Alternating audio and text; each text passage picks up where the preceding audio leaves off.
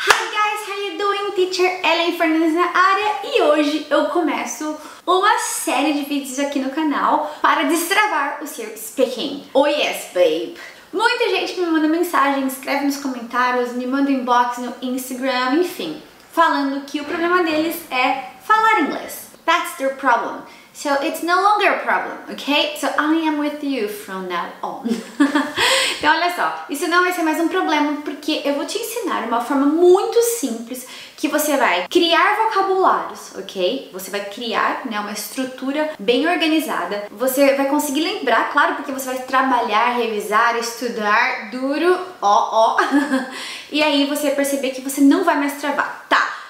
A gente trava teacher? Muitas das vezes porque falta vocabulário. Se você soubesse falar, você não travaria, right? Aí muitas pessoas pensam porque entendem, elas deveriam falar, mas não é assim, gente. Para que você possa falar inglês, você precisa ter uma vasta gama de estrutura, vocabulário, expressões aí para que você possa usar, alright? Eu gosto muito de comparar, por exemplo, um copo né, de água e como se a gente fosse colocando em com quantas gotas, né? Vocabulários, expressões. E aí o que, que acontece? Uma hora aquilo vai transbordar. Então vai começar a sair muito mais fácil. E se você sabe, claro que você não vai travar. Bora lá fazer então o negócio acontecer? Eu separei hoje sete expressões que você vai usar muito no dia a dia. Essas palavras são palavras, né, ou pedaços de frases que você consegue conectar com outras situações. Bom, vamos fazer na prática, que ficar explicando não vai fazer você entender. Então fica até o final desse vídeo, porque você com certeza vai aprender muita coisa e eu tenho certeza que na próxima vez que você tentar falar essas coisas, você não vai travar pega essa caderninha aí, já dá seu like no vídeo. Eu vou criar uma playlist só para esta série Destrave seu inglês, ok? Para que você possa ter um caderno e ó, mandar bala aí, porque eu tenho certeza que você vai aprender demais. E olha só, eu deixei também aqui nas descrições as frases e exemplos que eu usei neste vídeo, ok? So let's do it. A primeira expressão que eu separei foi a essa altura. A gente sempre usa muito, né, essa altura do campeonato, as coisas começam a acontecer, né? Então, a essa altura, nós vamos usar at this point at this point. At this point, there is nothing more we can do. At this point, we are the best channel on YouTube. Uh.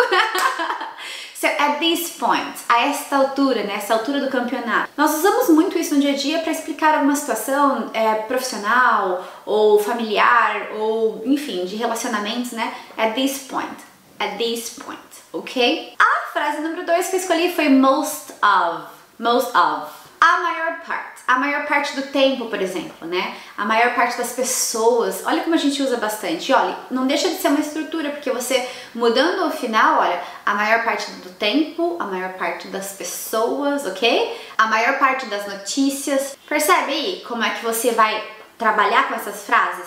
E claro, nós precisamos praticar, tá? No final desse vídeo eu quero que você escreva aqui um exemplo de frase usando essas expressões, ok? Porque é assim que nós vamos aprender e é assim que eu vou poder te ajudar mais ainda. E olha o exemplo. It was sad because most of people didn't come to the party. It was sad because most of people didn't come to the party. Most of, a maior parte a maior parte de algo, ok? Então, se você souber isso, com certeza você não vai travar na hora que você precisar usar, ok? Outra frase que a gente usa muito é a menos que. A menos que isso aconteça, né? Quando nós temos uma opção. Olha o exemplo. We can stay here unless you want to go somewhere else. We can stay here unless you want to go somewhere else. You see, unless, unless, a menos que. We can eat pasta unless you're on a diet. We can eat pasta unless you are on a diet. A frase number 4, eu já dei essa dica lá no meu Instagram. Será que você já me segue no Instagram? Se você não segue, corre lá, Ellen Fernandes, ok? Porque eu dou diquinhas curtinhas, né, de um minuto que você pode usar aí no seu dia a dia. Mas vamos lá, olha só. Essa dica número 4 é à toa. À toa. Por exemplo, se você fez algo à toa, algo que não tinha porquê. E para isso nós usamos for no reason. For no reason in English. Why are you asking that? For no reason. He is complaining for no reason. A dica número 5 é uma dica que confunde bastante, tá? Por exemplo, o phrasal verb to give up é desistir. Mas olha só, desistir também dá uma ideia de abrir mão de algo. Mas olha o exemplo para ficar mais fácil. They have to give up their home because they couldn't pay the mortgage. They had to give up their home because they couldn't pay the mortgage. Então, to give up pode significar desistir ou também abrir mão de algo, ok? Tá vendo como é importante, gente? Porque a gente trava? Porque às vezes a gente não consegue saber a diferença. Mas uma vez que você sabe, automaticamente o seu cérebro ele vai trabalhar por vocês. E olha só, anotar tudo isso, tá? Um caderninho só para isso. Pega um caderno, um caderno e anota todas as expressões, tudo que eu vou falar nesta série de vídeos para destravar o seu inglês. Se você quer mesmo falar inglês com fluência, sem travar, sem medo, este é um grande passo. Escreve tudo e revise todos os dias, é muito, muito importante. E a dica número 6 é ter acabado de fazer algo, tá? A gente usa isso o tempo inteiro. Ah, eu acabei de ligar pro fulano, eu acabei de chegar em casa, eu acabei de limpar a casa, né? Eu acabei de fazer algo. E essa frase em inglês nós usamos have just. Have just. Por exemplo, I have just arrived. I have just arrived. Eu acabei de chegar. I have just arrived. She has just bought a new car.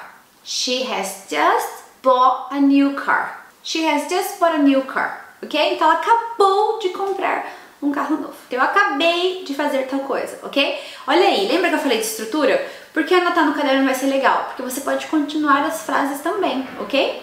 E nossa última expressão do dia é ainda bem. Ainda bem. E ainda bem, em inglês, é good thing. Good thing.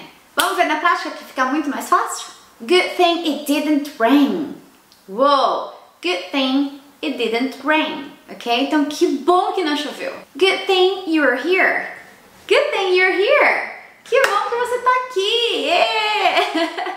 Eu posso fazer o que eu mais gosto de fazer, que é passar o meu conhecimento, e você também vai aprender inglês, com certeza vai te ajudar em algum momento da sua vida. Prometo pra você, não vai ser perdido. Então, Time to study hard, ok? Então olha só, gente, espero que vocês tenham gostado deste primeiro vídeo da série Destrave o seu inglês, vai ser muito legal. Não esquece de se inscrever no canal, Compartilhe este vídeo com seus amigos nos grupos do WhatsApp, no Facebook, né? Tenho certeza que vai ajudar muitas pessoas também. As frases estão aqui na descrição. Se você não quer copiar no caderno, o que eu sugiro para você para que você também trabalhe o seu writing, ok? Mas se você não quiser copiar, você pode copiar e colar em um arquivo do Google Drive, por exemplo, e você ir aumentando conforme os vídeos vão acontecendo ou conforme você também vai aprendendo outras frases para aumentar lá o seu arquivo de expressões, vocabulários, né? Frases que conectam para que você não trave mais em inglês, alright? Então, that's it for today. Não esquece também, aqui nas descrições vai ter um e-book grátis para que você possa fazer download. Se você quer saber o nível do seu inglês, também tem um link aqui embaixo. E também não esqueça de me seguir no Instagram, ok? Nos stories eu falo muito sobre minha vida aqui na Irlanda e, né, eu dou bastante dicas de inglês também. So, I see you around, guys. You take care. Bye!